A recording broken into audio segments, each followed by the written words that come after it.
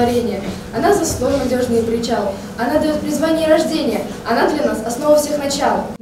Они за здоровый образ жизни, за мир, добро, взаимовыручку, за истинные семейные ценности. Сыны Отечества за. Название конкурса «Агитбригад» одноименного проекта, который реализуется в Центре «Лесная сказка» уже много лет. Этот конкурс – часть той большой работы патриотической направленности, которая ведется в округе из года в год.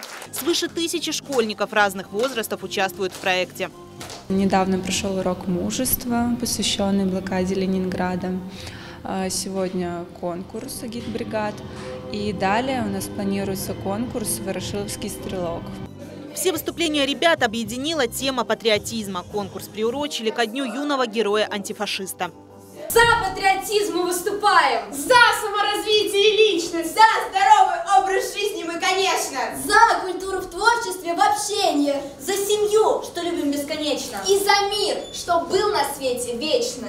Мы хотели показать, что в нашем мире важно все. Добро, семья, любовь, наш родной край. Нам очень нравится здесь участвовать, и поэтому мы старались вложить всю душу вот в это вот наше выступление. Хочу сказать спасибо нашей классной руководительнице Ирине Александровне за то, что она это организовывает, и мы не сидим просто и не, ну, не бездельничаем, а чем-то занимаемся и можем проявить себя на таких вот проектах.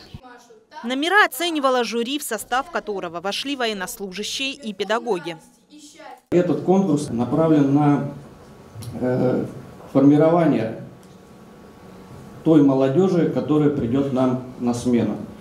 Той молодежи, которая будет дальше продолжать те традиции предков, которые они, они заложили. Любви к родине, к Отечеству. Хочу, чтобы ваше поколение было поколением героев. И это может проявляться даже в каких-то незначительных, вроде бы, поступках. Помочь близким, помочь родным, помочь чужим людям. Даже просто перейти улицу, подать руку, оказаться неравнодушным, искренним, творить добро. Перед жюри стояла непростая задача определить лучшие выступления отрядов гвардейцев и орлят в разных возрастных категориях. Однако здесь нет проигравших. Всего же в конкурсе приняли участие порядка 200 школьников городского округа Щелково. Анна Балиет, Игорь Поляков, Щелковское телевидение.